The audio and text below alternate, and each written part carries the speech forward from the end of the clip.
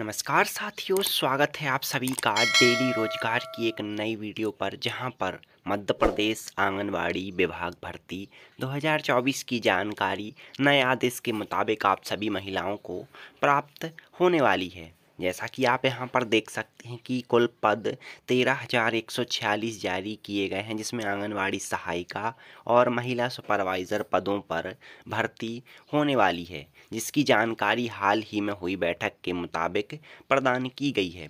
यदि आप भी पाँचवीं पास महिला हैं तो आपके लिए आवेदन का काफ़ी अच्छा मौका प्राप्त होने वाला है, जिससे जुड़ी पूरी जानकारी आज आपको इस वीडियो के माध्यम से मिलने वाली है। तो कृपया कर आप सभी महिलाएँ यहाँ पर अंत तक जुड़ी रहकर पूरी जानकारी अवश्य देखें।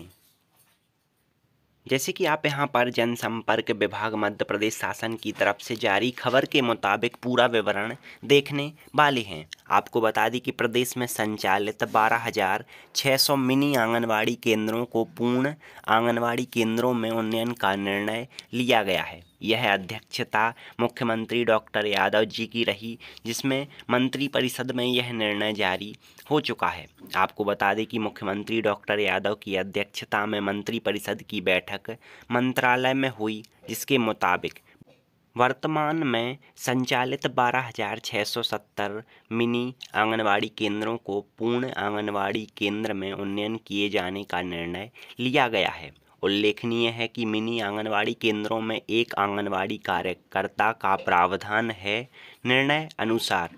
इन मिनी आंगनवाड़ी केंद्रों को उन्नयन के बाद एक पद आंगनवाड़ी कार्यकर्ता का एवं एक पद आंगनवाड़ी सहायिका का होगा। इस प्रकार से 25 आंगनवाड़ी केंद्रों पर एक पर्यवेक्षक के मान से कुल चार सौ छिहत्तर पर्यवेक्षक के पद स्वीकृत किए जाएँगे। मतलब सहायिका के बारह हज़ार छः सौ सत्तर पद और पर्यवेक्षक के चार सौ छिहत्तर पद जारी किए जा चुके हैं, जिसका यह आधिकारिक सूत्र आपके लिए जनसंपर्क विभाग की तरफ़ से जारी किया गया है। इसके लिए खर्च का भी अनुमान सरकार द्वारा जारी कर दिया गया है। यदि आप भी महिला हैं और or पाँचवीं के साथ साथ आपने स्नातक पास कर रखी है तो आपके लिए सहायिका और सुपरवाइज़र पद पर आवेदन का मौका प्राप्त होने वाला है, जिसका विस्तृत नोटिफिकेशन आपके लिए आधिकारिक पोर्टल पर प्राप्त होने वाला है।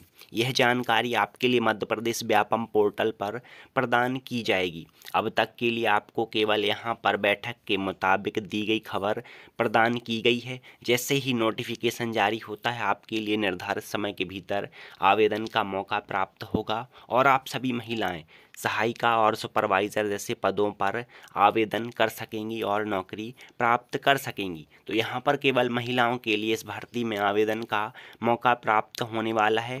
तो आप सभी महिलाएँ, इंतज़ार करें। जैसे ही नोटिफिकेशन आता है, आपको यहाँ पर सबसे पहले जानकारी दी जाएगी। तो अब तक के लिए इतना ही। ऐसी ही खबरें हमारे चैनल से जुड़ी रहकर देखती रहें। धन्यवाद।